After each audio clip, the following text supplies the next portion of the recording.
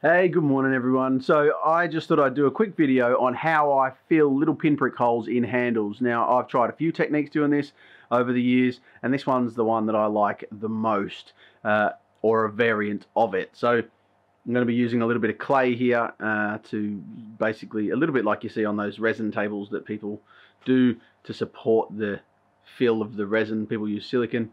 I can't bother to wait for it to go off so I use clay this is a few of the batch of paring knives that I've been working on. A couple that I'm working on there. This is one of my latte blocks with brass spacers, and this one is a spalted tamarind with with uh, bog oak and brass spacers as well. As you can see here, let me see what we have. Because this is stabilized Banksia pod, uh, it's a nice hard timber-esque material but you can see there's a few bits here like where there would have been a small pocket when I cast resin it didn't fill or it chipped out when I was turning it that one I think. And these are what you get sometimes in Banksia pod a few little fissures they tend to have resin in them uh, stabilizing resin in them so all I do is because I don't want that stabilizing they don't look good I get the tiniest little Dremel that I can get and I just fish them out or flick them out with a uh, like a scribe type tool like this sort of thing So this is clay that I use uh, for sometimes making a bit more ornate silicon molds and that sort of stuff. This is a new one because, well, I'm out of it.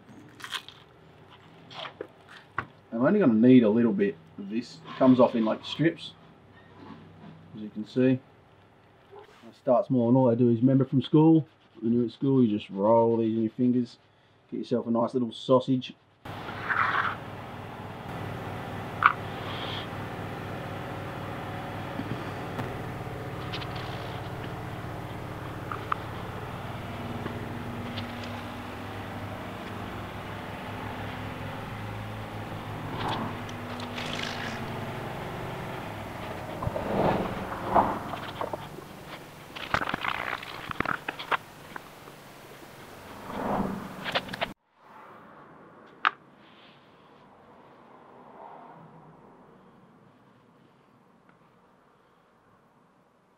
Now you can 100% do this with super glue, CA glue, mix it with a little bit of blue uh, and it works as well.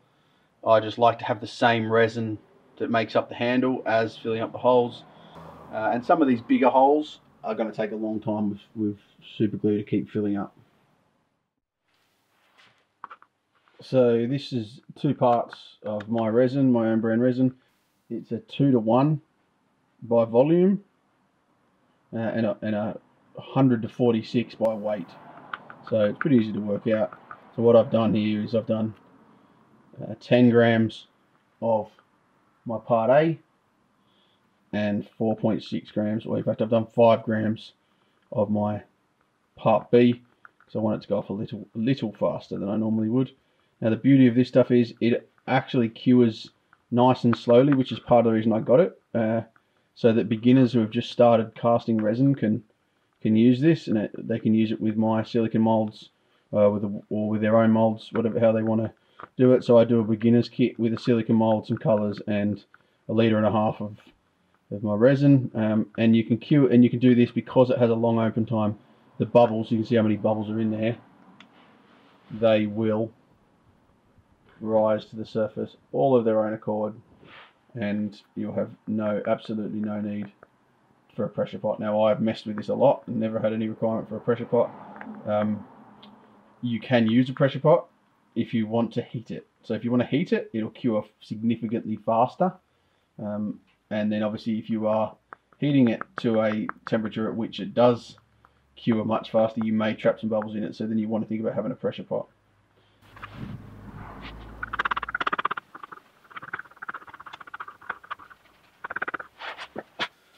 This is a product that I use in this specific blue handle. I love this stuff. It's a Divine Pigments color, uh, Abyss Blue, and it's lovely and deep blue. Really, really gorgeous, like a nighttime sky blue, like a midnight blue almost.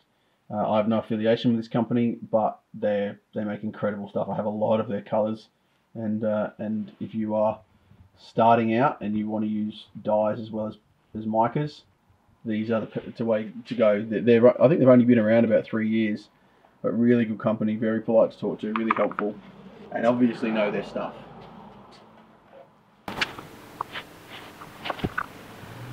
You get a really even blue, like no sort of streaking like you can with mica powders and stuff. It's beautiful consistency.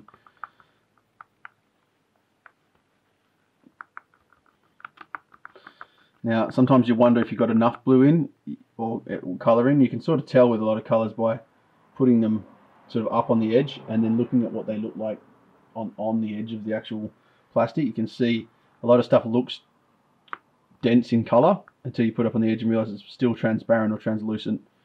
Um, this is sort of the colour that I'm looking for, so I'm pretty happy with that. So all I'm going to do now is essentially just drip it into the um, into the holes and just work it in a little bit with a lollipop stick. Filling the little cavities that I've created with some of the resin. And actually, there's another little trick. If you let it drip from high up and get you know a nice flowing stream, it doesn't work so well with this. But if you're pouring resins, if you've ever got uh, bubbles in them and you want to try to get that out, if you pour them from a height and get yourself a nice flat flowing layer of resin, you will actually find a lot of the bubbles will pop on the way down because they have no thickness of essentially resin to hide inside of. So all I'm going to do is now work it into those spots because you can get, because they're such tiny little holes, you can actually get the problem with the fact that it, it sits on top and creates an air bubble and never actually falls into the hole and it goes off and you've got to do it all again. So I tend to just work it in a little bit, making sure that it's found its way into those holes. I have in the past got a little syringe and just dabbed it in the hole and that's that can help, but um, I don't find it's required, to be honest.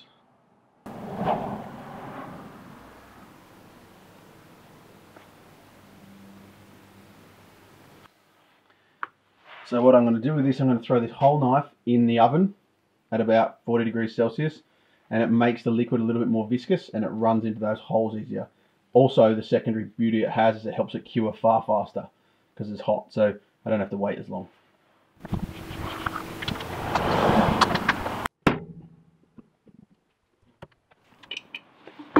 I'm not a big fan of wasting stuff, so this little bit of resin here seems like not a lot to throw away, but not really, like I say, a really big fan of letting stuff go to waste. So I have this little box of goodies that I sometimes just throw other bits into uh, that I'm not using. So these are sweet pods. They're very cool. Um, they're stabilized already. I stabilized these some time back and basically they're sitting there waiting to go. Uh, I so here's what I ended up with. I've thrown it in the oven for a little while so it heats up. And the reason I do that is just because been stabilised for some time, which means there could still be some moisture sitting on the surfaces of the timber. And all I'm going to do, throw it in, give it some love, turn it over a few times, and basically try to make sure there's resin all the way through all the holes. If you hold it there, you'll see bubbles popping out of it and that sort of thing. So when you're doing this sort of thing, you really still want to use a pressure pot even with this resin. You can do it without. It's a bit of an annoyance, but you can make it happen. Uh, but whilst if you have a pressure pot, then 100% use one.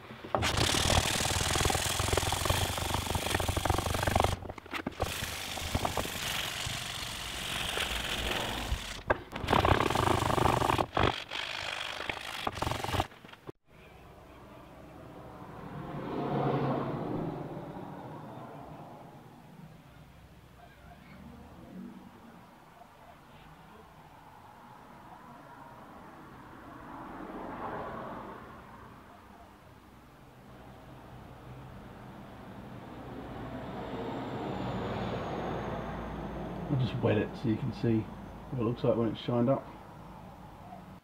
And that's that.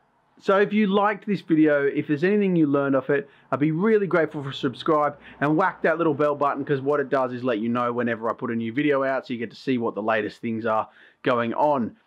If you want to support my channel, uh, I'm not into the whole Patreon and all that sort of stuff. I'm not asking for anything for free, but what I am doing is a little bit of merchandise. So I've got hoodies uh, and I've got t-shirts all at www.tobyfireandsteel.com.